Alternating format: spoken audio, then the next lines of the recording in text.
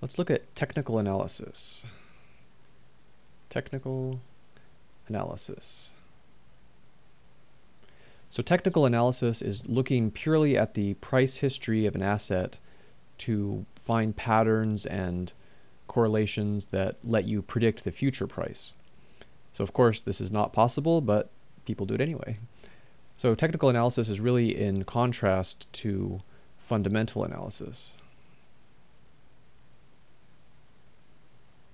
So fundamental analysis is looking at the fundamentals of a company, like the economic situation, trade between nations, you know, other specific factors like that, and coming up with the value of a company based on these these fundamental factors.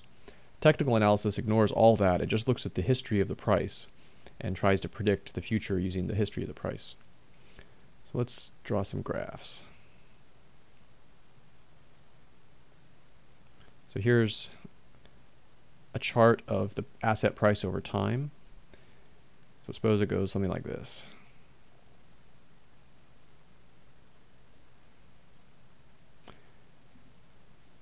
So if you connect together the peaks here, so point here, here, here, here, you can see it's forming a line, and the troughs here, here, it's forming another line. And these are called trend lines.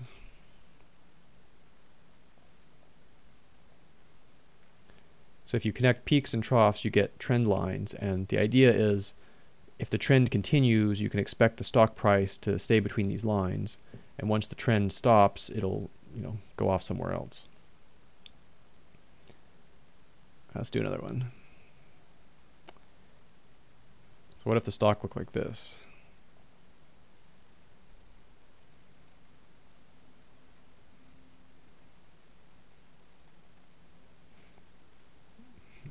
This bigger.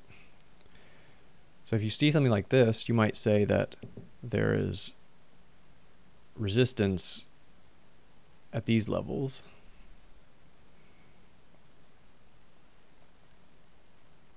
It seems like the stock doesn't want to go higher than these these points. And then similarly down here, you'd call this the support. It seems like there's force supporting the stock and it doesn't want to break below that. So these resistance and support levels, you know, at, while they hold, there'll be a, a constant price level that the, the stock can't go above or below. And once it does go above or below, it usually is said to go dramatically higher or dramatically lower to break through the support or to break break through the resistance. All right, what's another technique?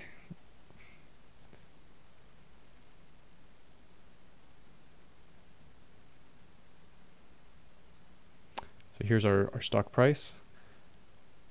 Now you can do a moving average. So suppose you take the last five data points, the five last five prices, and do an average of those five numbers, and then every day you update that. That'll be your moving average. The idea is to smooth out the, the bumps in the stock. So this could be your five day moving average.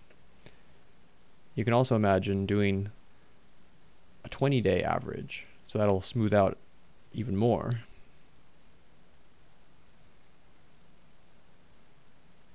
So this could be the 20 day average.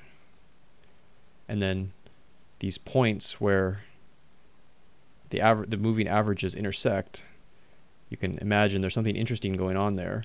And so where these where these lines intersect, maybe you buy or sell or you know something's happening. The the short term trend and the long term trend are diverging. So that's sort of interesting. So another way to think about stock prices is to do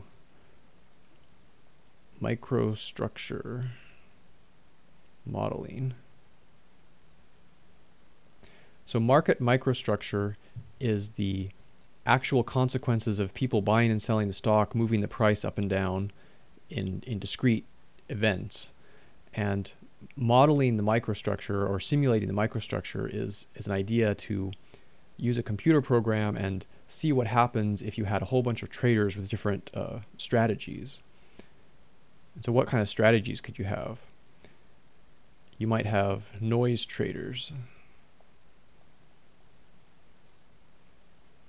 And so noise traders randomly buy and sell.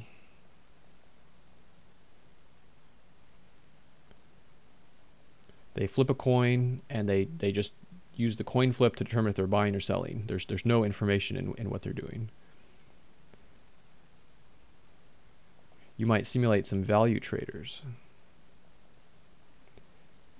So value traders might have some threshold T. So if the asset is below T, they buy.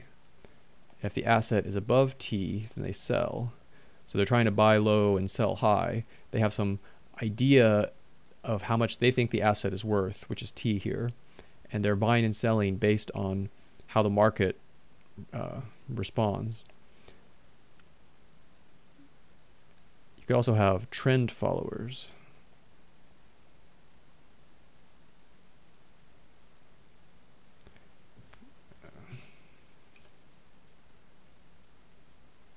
So the trend followers might do a moving average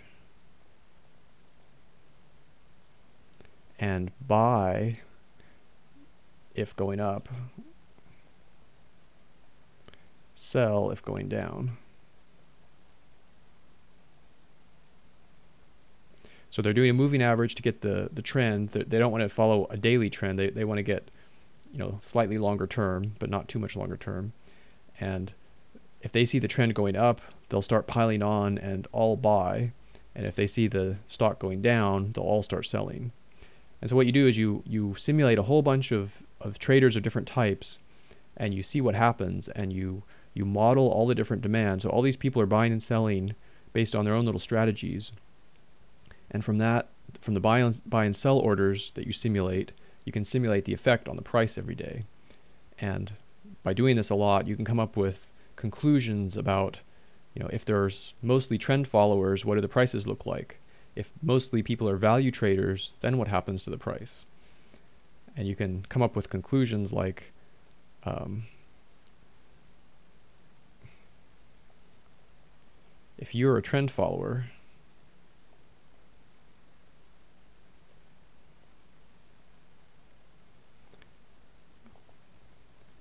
conclusion you, you see is if you're a trend follower, the more people that follow the same trend, the more money you lose.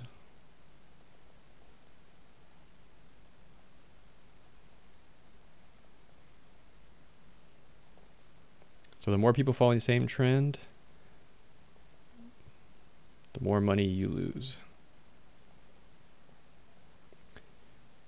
And so this is this is a conclusion you come to by doing the simulation and seeing that you, you know you can you can simulate all the details and you can see that if there are a lot of people following the same trend, they're all losing a lot of money because they're pushing the stock up and then it's going down and then they're selling and they're they're doing the opposite of the value traders basically.